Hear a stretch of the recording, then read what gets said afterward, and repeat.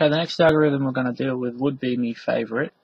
It's this case, not to be confused with its mirror this case, which the 1 by 2 bar off this 1 by 3 bar is on the left for the one we're doing now.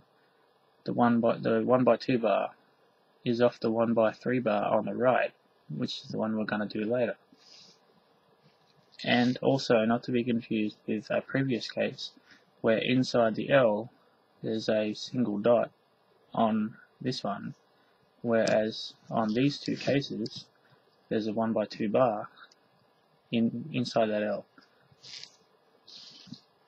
So for both these cases, or these cases, the 1 by 2 bar, unlike this one, where both these cases are held with the dot at the back, the 1 by 2 bar in these cases is going to both be held at the front. So I'll run through the algorithm and in this algorithm for the first example is going to be R prime R prime just to help you remember the trigger but in all examples after that it's going to be an R2 or R2 prime. So we go front U R U prime R prime and then and then R prime, F prime R, then U R U prime R prime. So we'll go through the algorithm a few times. This time it's going the R prime R prime is going to be replaced with R2. So we go front, then it's the reverse sexy move, U R U prime R R2 f prime r u r u prime r prime.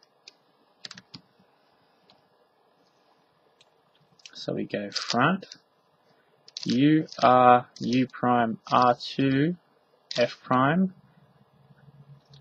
r, then we go u r u prime r prime. And once again, front, U R U prime R2 F prime R U R U prime R prime.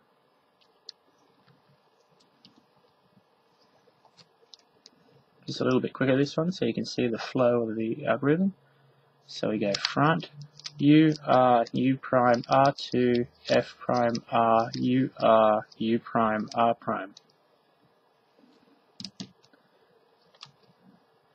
And then we'll go through it slowly two times so you can follow along.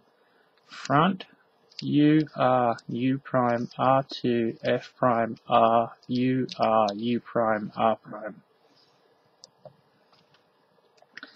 And one more time. Front, U, R, U prime, R2, F prime, R, U, R, U prime, R prime.